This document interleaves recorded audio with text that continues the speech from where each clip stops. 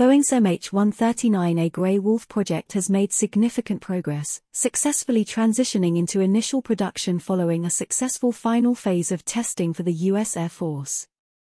The completion of all stages of testing by the U.S. Air Force will allow the military to continue critical operational tests, and Boeing can focus on the development of the first mass-produced rotorcraft, said the head of the MH-139 program at Boeing, Azim Khan.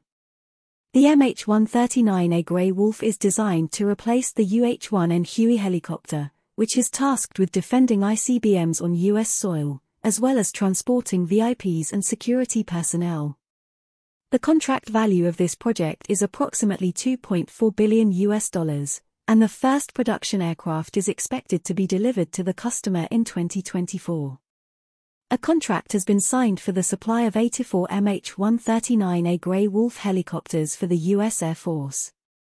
The delivery of all rotorcraft should be completed by 2031.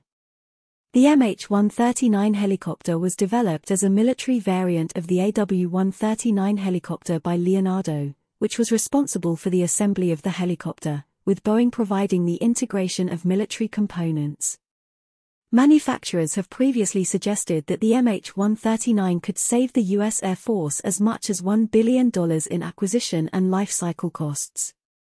Even with its conversion from a civilian configuration, Boeing has indicated that the military version of the AW-139 will be more cost-effective to acquire and operate over its life cycle compared to other models.